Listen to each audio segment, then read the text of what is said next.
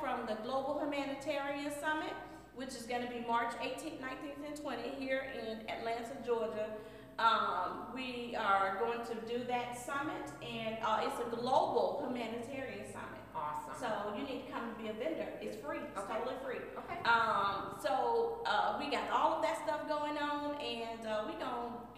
keep it going. It Keep it going, keep it moving. So what we say, don't talk about it. Be about be it. about And it. be kind to each other, guys. Be kind to each Okay. other. So thank you